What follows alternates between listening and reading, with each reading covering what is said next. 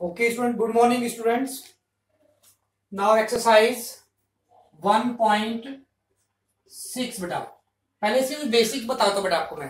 Basics क्या बेटा? देखो ये ए पावर एम लिखा हुआ है बेटा।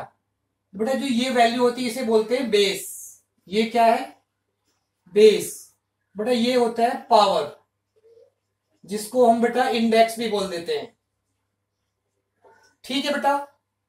ये वैल्यू बेस और ये पावर इट मींस इंडेक्स बोलते बेटा इसको। ठीक है? अब बेटा इसके कुछ प्रॉपर्टीज़ हैं। अब फ़र्स्ट प्रॉपर्टी क्या है कि A power M multiply A power M अगर बेटा टू वैल्यू है, ये एक्सपोनेंशियल फॉर्म बोलते हैं इसको। बेटा ये कंप्लीट क्या है?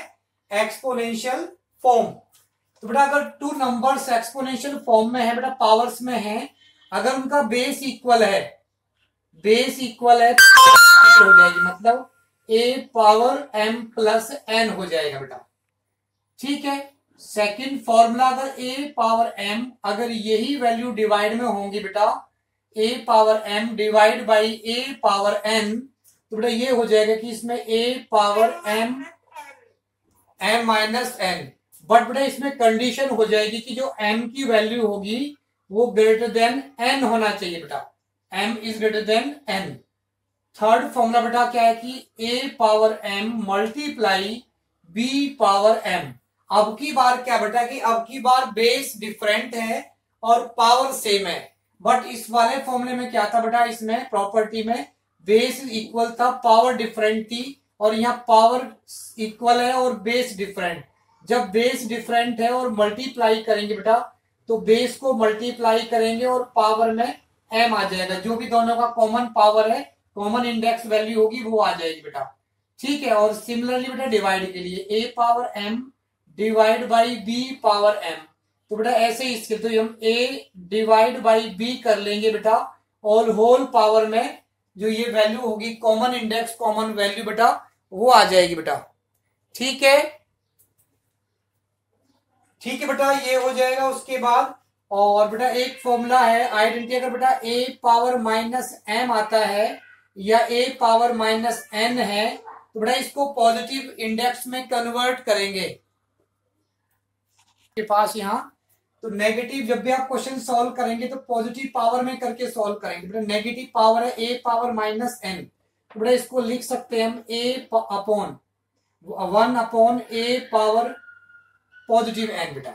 ए पावर पॉजिटिव एन और अगर बेटा ये आ जाए कि A upon B whole power minus N आगे, बेटा। देखो, ये तो बेटा कोई इंटीजर है और ये क्या है कोई फ्रैक्शन बेटा। ये इंटीजर है और ये फ्रैक्शन है। अगर इंटीजर की पावर में नेगेटिव बेटा, उसको इस टाइप से लिखेंगे और अगर बेटा कोई फ्रैक्शन है तो उसको बेटा क्या लिखेंगे? ए अपॉन बी है तो ये हो जाएगा B upon A whole power positive N ठीक है बेटा, समझ आ गया आपको ये? उसके बाद एक और फॉर्मूला लिखते हैं बेटा। जैसे बेटा यहाँ ए पावर एम और मल्टीप्लाई बी पावर एन के लिए होगा सेम बेटा ये A upon B whole power M multiply A upon B whole power N बेटा, से जब बेस इक्वल है तो पावर ऐड हो जाएगी। तो A upon B whole power M plus N हो गया बेटा। और नेक्स्ट बेटा अगर यही value A upon B whole power M और divide A upon B whole power N आता है बेटा सेम बेस है पावर डिफरेंट है तो बेटा ये क्या हो जाएगा? A upon B upon M minus N बेटा।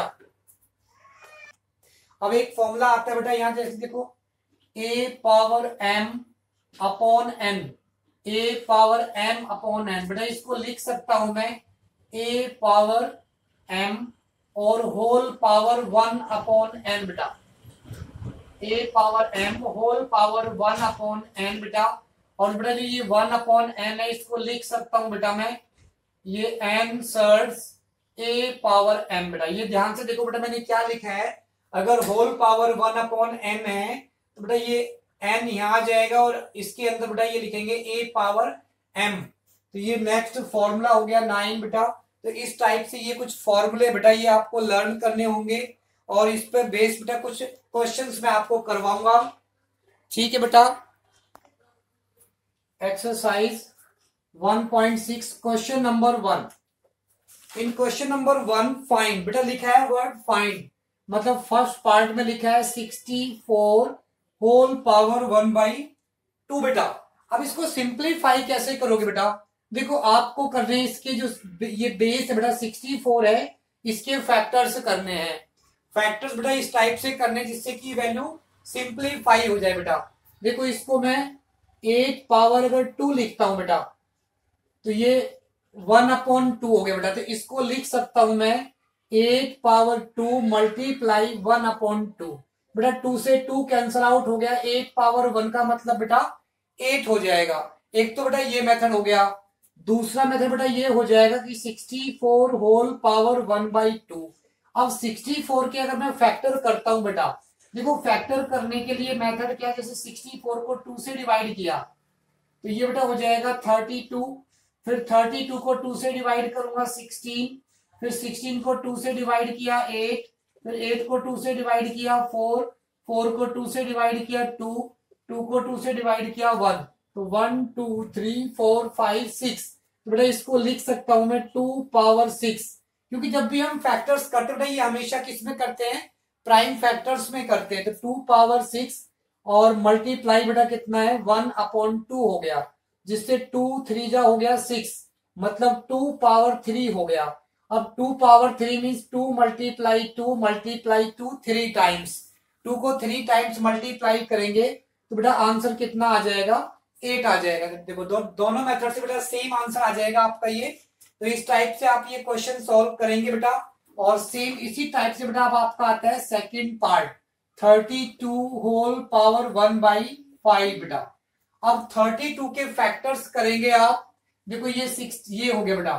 थर्टी टू के फैक्टर्स करेंगे तो बेटा ये हो जाएगा टू पावर फाइव और multiply one by five five cancel out by five बेटा और two power one it means answer will be two okay बेटा third part in this exercise third part one twenty five whole power one by three तो twenty one hundred twenty five के factor करेंगे बेटा five multiply five multiply five whole power one by three it means five power three multiply one by three three cancel out by three it means five power one is equal to five I hope you are understand देखो question number two बेटा first part इसमें लिखा बेटा कि three nine power three by two बेटा, आप नाइन के फैक्टर करेंगे नाइन के फैक्टर बेटा होते हैं three multiply three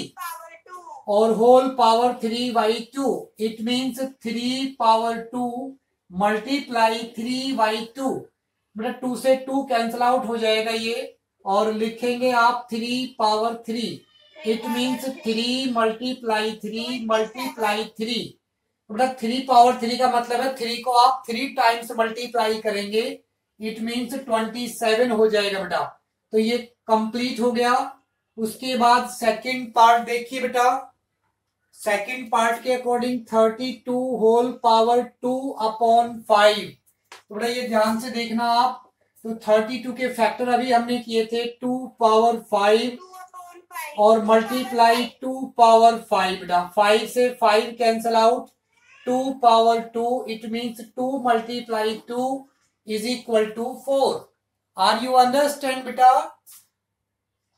now third part in third part beta 16 whole power three by four तो 16 का बेटा कितना हो जाएगा टू पावर फोर और multi multiply three power four four cancel out by four it means 2 power 3.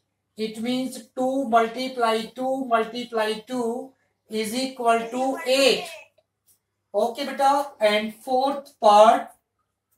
beta. And fourth part 125 whole power minus 1 by 3.